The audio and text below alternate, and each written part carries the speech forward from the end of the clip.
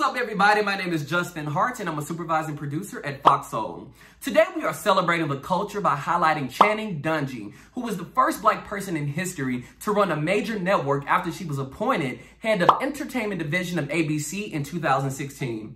Channing joined the ABC family in 2004, and she's held the title of Executive Vice President while developing and launching many of our favorite television series, from Scandal, Quantico, Marvel's Agents of S.H.I.E.L.D., and two award-winning dramas, How to Get Away with Murder and Grey's Anatomy.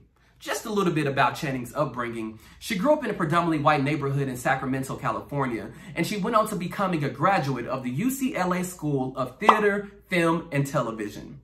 She is also known for giving back to the community through her national nonprofit organization, Step Up, whose mission is to help girls in under-resourced communities fulfill their potential. Channing's historic promotion at ABC was blossomed in the midst of intense scrutiny of Hollywood's lack of diversity. And guess what, guys? She is still climbing the ladder after she was named chairman of Warner Brothers TV Group in 2020. She's unstoppable, and because of that, we are celebrating and we are saluting our sister for paving the way for aspiring TV executives of color and for giving us the opportunity to see a reflection of ourselves at the table. Thank you, sister. Black, black, I'm black and black, yo, because I'm black and I'm black. Yo, I'm black and I'm black, y'all. And I'm black and you're black and I'm black, y'all. And I'm black, y'all. And I'm black, y'all. And I'm black and you're black and I'm black, y'all. And I'm black and black.